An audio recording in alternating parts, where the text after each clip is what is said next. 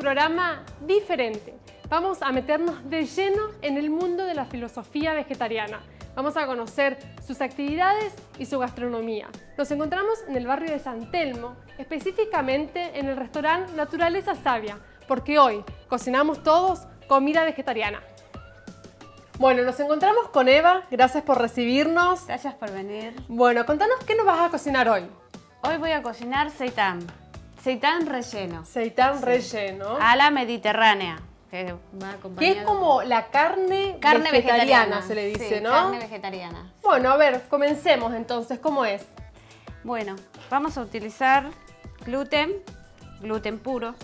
Gluten puro. ¿Esto dónde se, se compran? Es, eh, se compra en todas las dietéticas. En todas, las dietéticas. Todas las dietéticas lo venden. Entonces ya compramos el gluten puro. Gluten puro, claro. Sí, Perfecto. No se puede. Bueno, entonces vamos con el, con el agua. Hacemos como una coronita. Sí, en el medio. En el centro del agua. Agua. Para condimentar un poco le ponemos salsa de soja que le da sabor y salado, ¿no? Saladito. Saladito. Entonces vamos con esto. Y color. Sí, color. ¿no? Le da un color oscura. Le da mucho sabor la salsa de soja.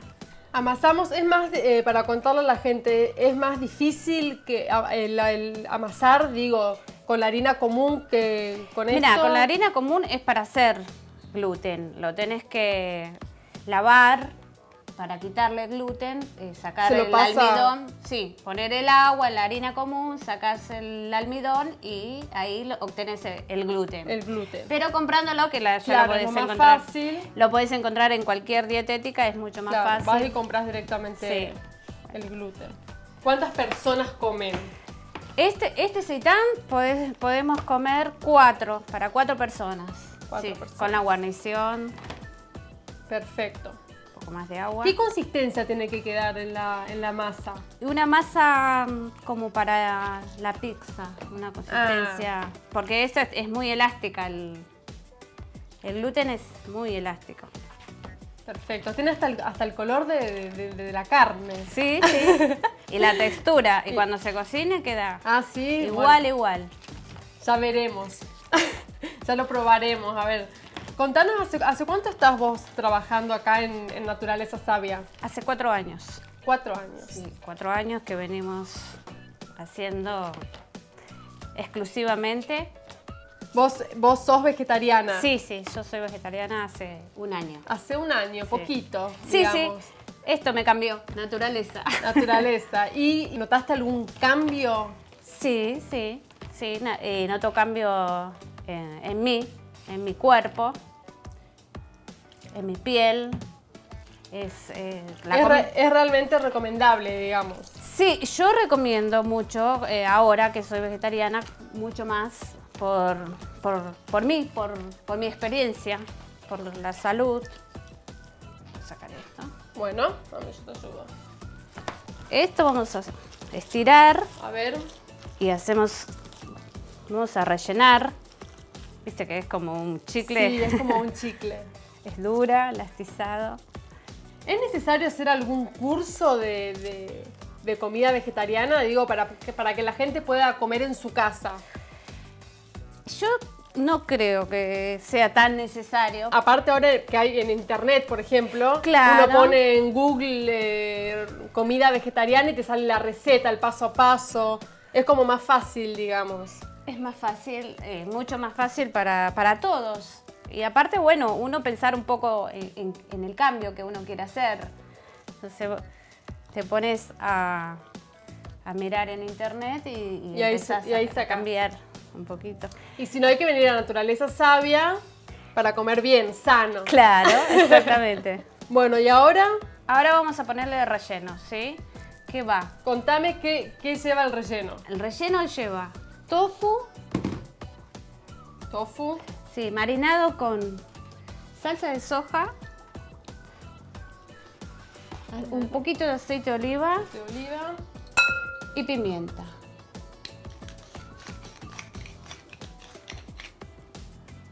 Perfecto. También, bueno, eh, tomate seco Tomate seco. que ya está marinado porque hay que deshidratar, Ah, después marinarlo con, ajo, con eh, condimento para pizza. Entonces, vamos con el tofu. Vamos con el tofu. Así. El tofu va así. El tofu lo que tiene es que también in- incorpora eh, proteína, porque es eh, la proteína de soja. Es el queso de soja, que acá ya tenemos el gluten, que tiene vitamina, Sí. y, y proteínas. Acá, tomate seco.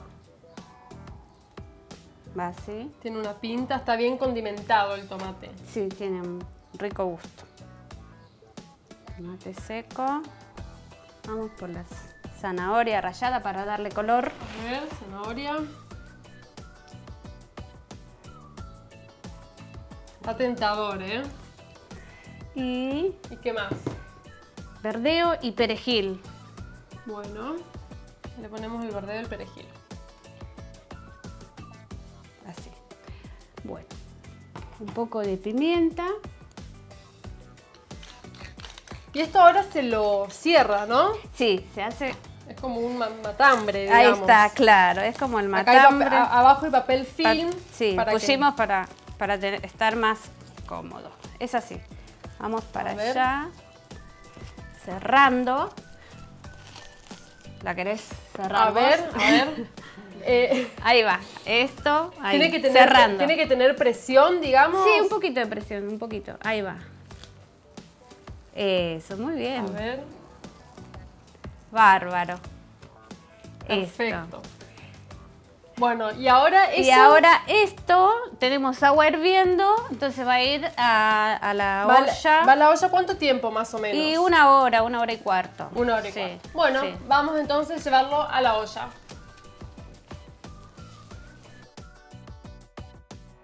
Bueno, entonces, después de una hora y media más o menos de cocción, Sí, nos queda así, queda esto. esto, acá. Entonces, yo le voy a mostrar cómo queda el relleno, A ver, así. perfecto. Esto tiene que, eh, en este caso está frío. Está frío, en este caso lo vamos a, a comer frío. Se puede Sí, comer se también puede comer caliente. caliente. Eh, y un secretito es que cuando lo, ni bien lo sacamos de la olla, hay que dejarlo reposar un poco, ¿no? Sí, para dejarlo. cortarlo. Si es posible, de un día para el otro. Porque así se corta más, Ah, mejor. está queda más compacto, digamos. Sí, sí, Perfecto. queda mucho mejor. Bueno, esto lo vamos a acompañar con qué? Vamos a acompañarlo con una ensalada, con la guarnición, Tomatitos cherry, tomatitos, sí. que se los puede cortar al medio sí, se para que sea más chiquito. Es bien fresco, ¿no? Todo Sí, frío, la ensalada fría. Y eh, esta ensalada eh, se la puede comer también caliente si uno Esto quiere. sí, sí, eh, porque tenemos el arroz, arroz yamaní, frío, Acá está que el arroz. lo podemos calentar con un poquito de salsa de soja. Que este arroz se, se cocina de la misma manera que el, que el otro, digamos. Sí, con, con el arroz integral se cocina más o menos 40-45 minutos. Perfecto. A partir del hervor, ¿no?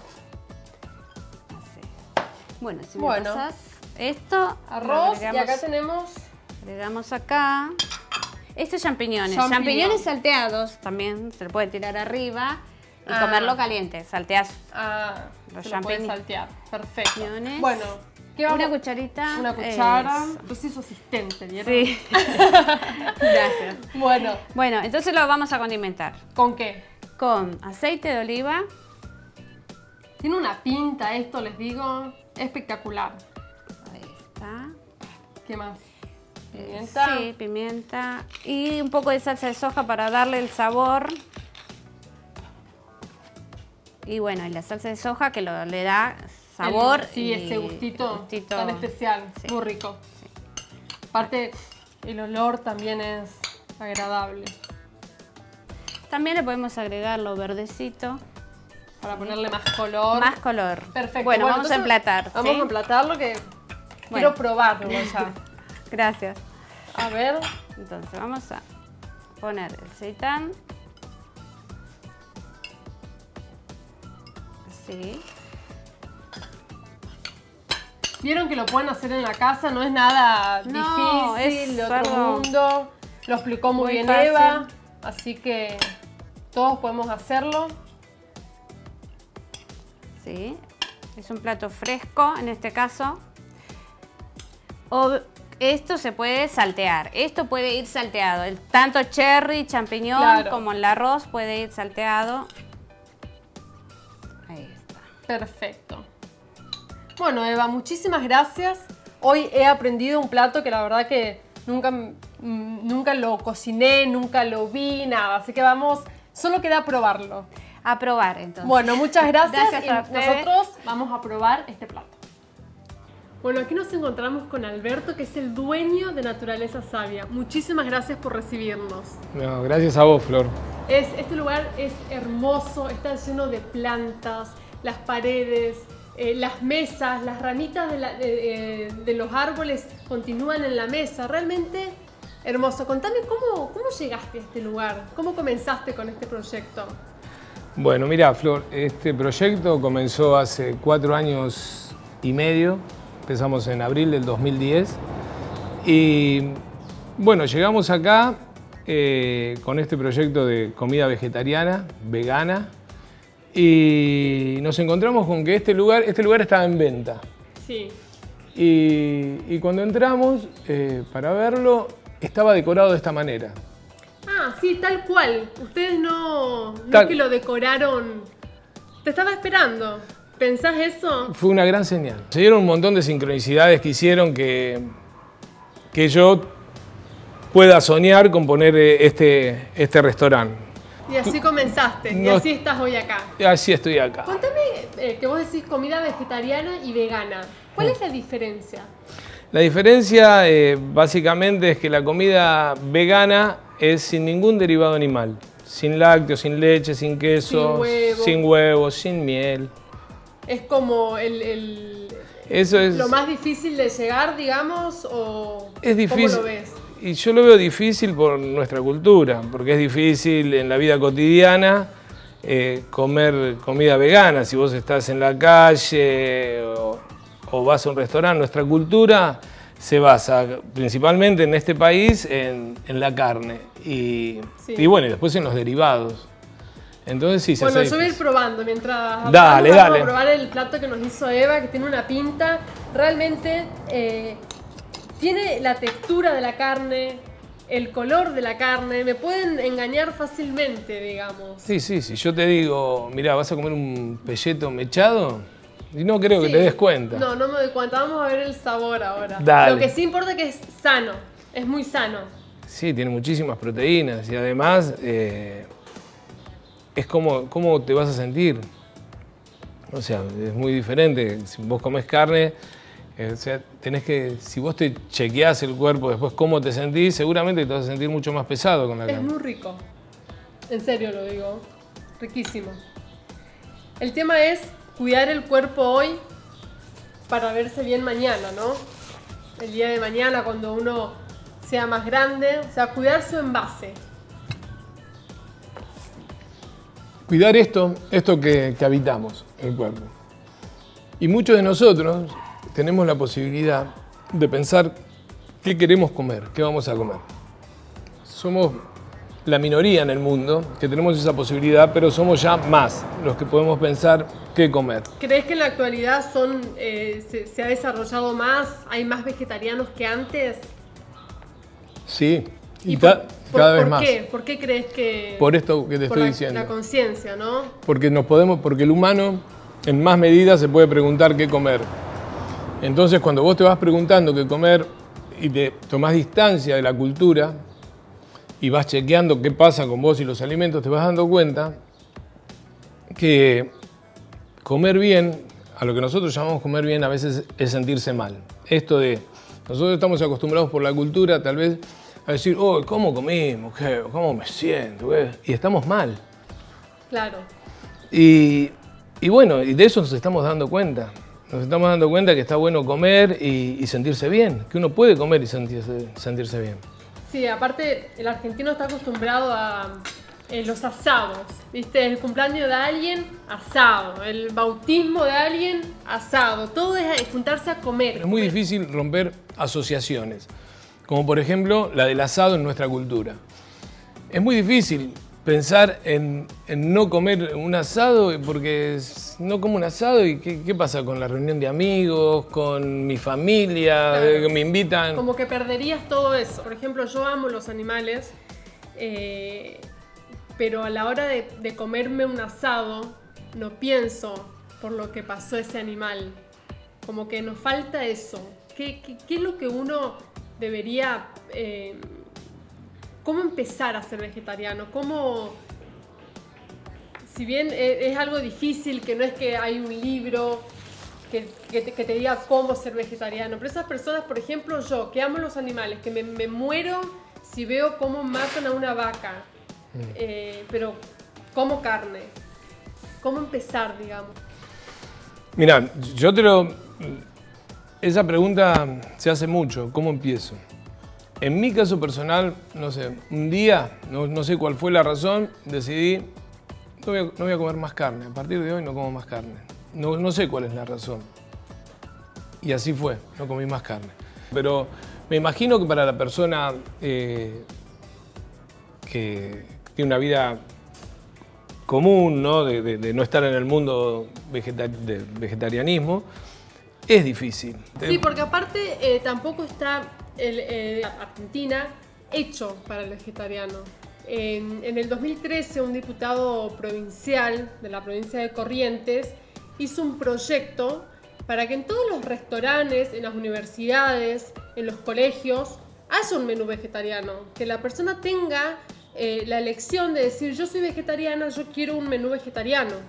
Eh, me parece que acá falta un, poco más de eso. Hablábamos fuera de cámara cuando uno va a la cancha, por ejemplo. Bueno, lo que te decía, nosotros en nuestro sueño nos encantaría, por ejemplo, estar en los mega recitales, que nos dieran un puestito para poner. Nosotros tenemos el producto para ofrecer de, comida rápida vegetariana, con apto celíaco, vegano.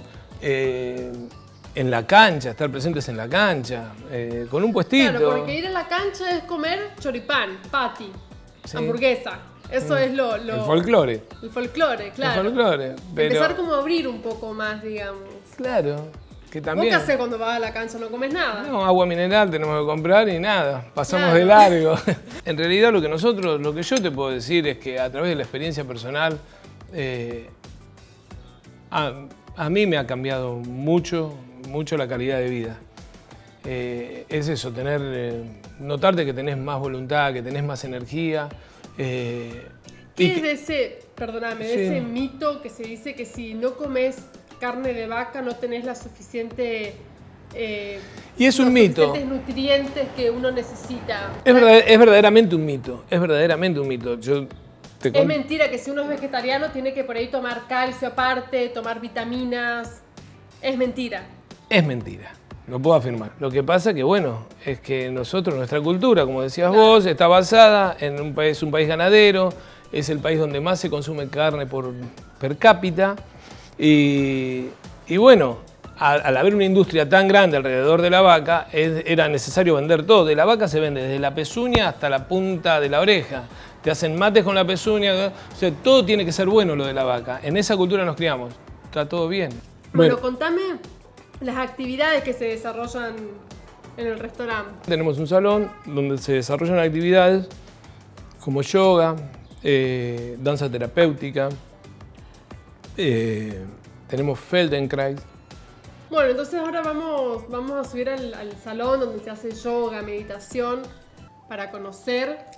Bueno, Alberto, aquí nos encontramos entonces en el salón donde se hacen las diferentes actividades que hace un rato hablábamos. Sí, Exactamente, este es el lugar donde se desarrollan las actividades, eh, donde se conecta con el cuerpo. Bueno, más allá de, la comida, también eh, tenemos este espacio para poder conectarnos y darnos un tiempo para pensar en, en esto, en nuestro envase. O sea, no solo es comer sano, sino también hacer una buena actividad que nos conecte, que nos llene de energía, de eso se trata, ¿no? De la buena vibra. Es hermoso, el salón es muy cálido. Es un salón ideal para, para ese tipo de actividades. La verdad que sí. Bueno, ¿qué, ¿qué, mensaje te gustaría darle a la gente que nos está mirando en este momento? Bueno, el mensaje que me gustaría dar es que a través de mi experiencia personal, el tema de cambiar la alimentación eh, me fue cambiando el día a día. Y la vida es eso, es un momento. Entonces, eso, decir que, que tengan en cuenta que, que la alimentación es muy importante, que, que hace que el día a día sea diferente Em, que a mí me pasó en mi experiencia personal que ver la vida de una manera más positiva hace que esta experiencia sea mucho más rica y no solo para uno, sino para todo lo que lo rodea a uno. Eh, y bueno, eso quiero dejarlo como mensaje a través de mi propia experiencia. Bueno, o sea que cada uno eh, haga, que, si tiene la suerte de, por ejemplo, poder elegir lo que va a comer y si tiene tiempo para poderse conectar con, uno mismo, que, que, lo haga, que lo haga, que lo chequee, que se registre. Y... Que sea consciente de lo que come, de lo que hace, ¿no? Sí. Y que depende de cómo uno se cuide hoy, va a llegar mañana hay que cuidar nuestro envase. Esa es, e, ese es el mensaje que me queda a mí por lo menos hoy. Así que te agradezco muchísimo por este día, por tus palabras, me llegaron mucho en serio. Y bueno, nosotros nos encontramos entonces la próxima. Muchísimas gracias. A vos, Flor, gracias. Nos encontramos la próxima con Cocinamos Todos. Para cocinar el seitán relleno se necesitan los siguientes ingredientes. Gluten, agua, salsa de soja, tofu, tomate seco, zanahoria, cebolla de verdeo, perejil y pimienta negra. Para la ensalada se necesitan los siguientes ingredientes. Tomate cherry, arroz yamaní y champiñón.